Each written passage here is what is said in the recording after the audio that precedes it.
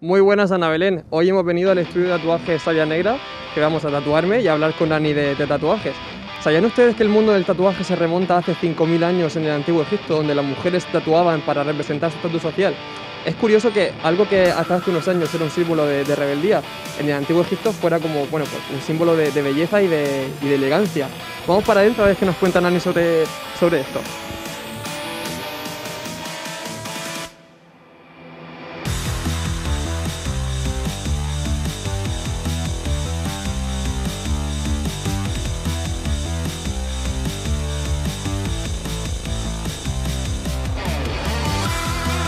Bueno, vamos a empezar. Yo voy a empezar primero probándome el tatuaje, que en este caso va a ir en el, en el brazo. Dani, cuéntame un poco qué, no- qué me vas a hacer. ¿Qué tenemos pensado? Pues voy a hacerte una frasecilla, una canción que te gusta a ti mucho. Ay, me encanta, por supuesto que sí. Pues nada, Luego cuéntale el significado del tatuaje. vamos a probar el calco, Vale. a ver cómo lo vas a querer. Lo quiero recto, así. ¿Así? Sí, así y un poquito más por aquí. Vale. Vale. Así. Esto es lo típico que siempre se hace. A mí ya me están dando los nervios, que luego sé que no duele nada, porque realmente no duele nada, pero... Es el momento de empezar. Madre mía, no hemos empezado y ya quiero tenerlo terminado. Tenía un mono de aguja que nadie lo sabe.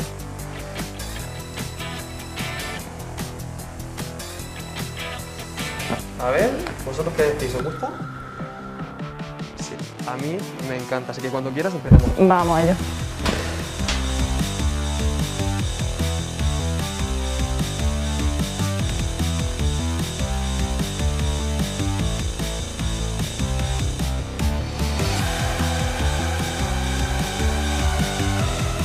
Bueno, vamos, que esto está ya que empieza. Dani, ¿qué ha sido lo más raro que te han pedido tatuar? Buah, raro me han pedido tatuar la zona de los labios en el interior, el interior de orejas, Interior de orejas. Sí. ¿Qué, se- y qué qué te han pedido tatuar ahí? pues alguna palabra, algún dibujillo, pero me he negado siempre a hacerlo, porque esas son zonas complicadas que se suelen borrar. ¿Y al- algún diseño en especial que te, que te hayan pedido que, te- que tú hayas dicho, madre mía, pero ¿cómo le voy a hacer esto a esta persona si le voy a, le voy a hacer un crimen? Buah, sí.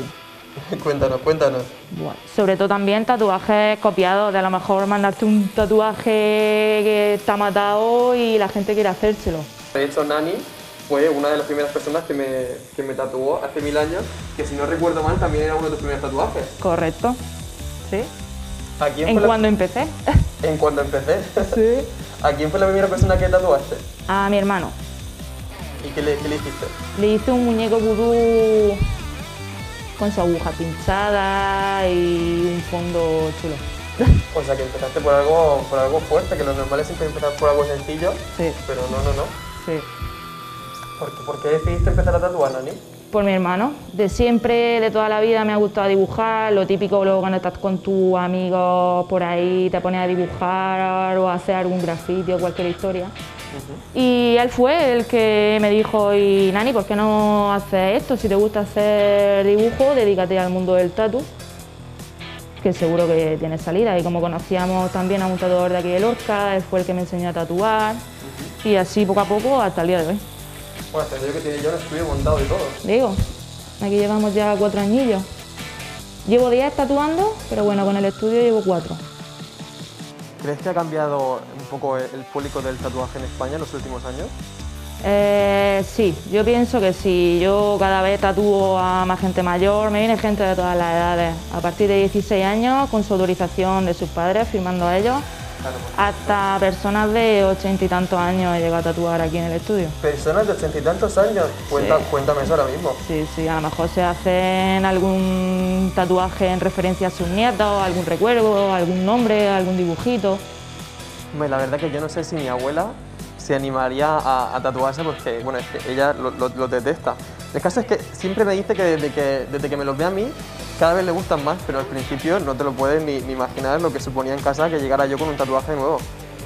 Lo hace años yo recuerdo que mis padres me decían como que con eso no iba a encontrar trabajo, que dejara de tatuarme, que me tatuara zonas visibles. Y ahora mismo yo, vamos, ya que tengo 25 años recién cumplidos, Sí.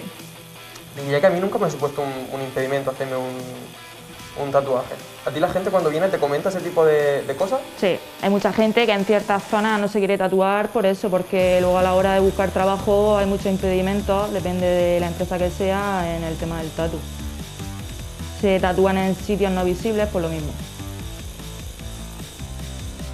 Bueno, yo quería compartir con vosotros el significado de mi, de mi tatuaje. Es la letra de una canción de Annie Lennox. Dice, Sweet dreams are made of this, who, who am I to disagree? Que significa como los dulces sueños están hechos de esto, ¿quién soy yo para estar en desacuerdo? Y es porque ella cuando era joven siempre quería dedicarse al mundo de la música, pero al principio desgraciadamente no le fue bien. Y cuando decidió que iba a volver a Escocia a trabajar de profesora de música, decidió lanzar esta canción como su última canción y digamos que es como una ironía. Dice como los dulces sueños realmente son esto, ¿por qué voy a estar yo en desacuerdo? Cuando decidió que, bueno, pues lo había intentado pero no había surtido efecto y se lo iba a, iba a dejar de, de cantar. Y justo al sacar esta canción fue cuando ya pegó el, el, el boom y se hizo famosa y ya se dedicó a la música para siempre.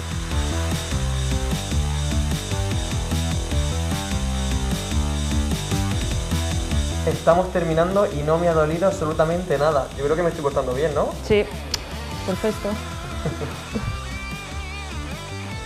Madre mía, no me ha dolido absolutamente nada. A ver. Buah, me encanta, está precioso. Súper bonito.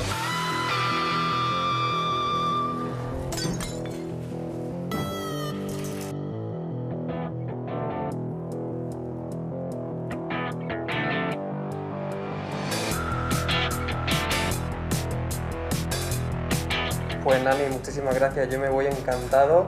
Me encanta el, el, tatuaje y no me ha dolido nada. Gracias a ti y ahora cuidarlo bien, disfrútalo y cualquier cosa estamos en contacto. Bueno, no hace falta que diga que nos veremos pronto. Nos volveremos a Aquí estamos. Pues Ana Belén, espero que os haya gustado tanto como a mí. Nos vemos la próxima semana.